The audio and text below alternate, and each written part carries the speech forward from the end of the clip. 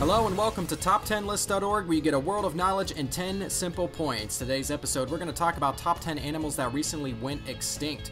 Let's start at number 10 with the thylacine. The thylacine is also known as the Tasmanian tiger. The main reason for its extinction is the unmitigated hunting and the encroachment by the human population to their natural habitat.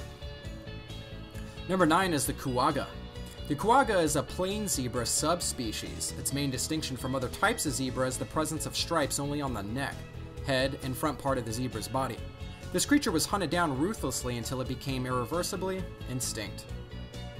Number 8 is the passenger pigeon. This has got to be the most tragic incident of extinction in our A list if there ever is one. This type of pigeon was not even near extinction as recently as two centuries ago. Rampant hunting of this type of pigeon systematically reduced its population until it finally became extinct. Number 7 is the golden toad. The first ever documented golden toad was the one that was reported by Jay Savage, renowned herpetologist, in 1966. It is a native of the tropical forests of Costa Rica. The last sighting of this toad subspecies was way back in 1989. Number 6 is the Caribbean monk seal.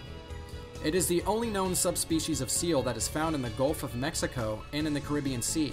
This once abundant Caribbean monk seals were heavily hunted for their oil and are slaughtered by most fishermen as they were considered pests or competitors. Number 5 is the Pyrenean ibex. This is one particular creature that was successfully brought back to existence through cloning. Unfortunately, the cloned creature was only able to live for 7 minutes before succumbing to lung failure and eventually became extinct again. Number 4 is the Bubal hartebeest. These creatures once roamed the regions of the Middle East and Northern Africa in large populations. Hunting of the Bubal hartebeest for food and recreation reached destructive proportions, and this has led to greater segment of its population being totally wiped out. Number 3 is Javan tigers. The Javan tigers are the subspecies of tigers that are found in Java, Indonesia. These Javan tigers were still common during the 19th century and at some point were even considered as pests in Indonesia, However, with the encroachment to their natural habitat by humans, their population dwindled significantly until they were finally declared extinct. Number 2 is the Tecopa pupfish.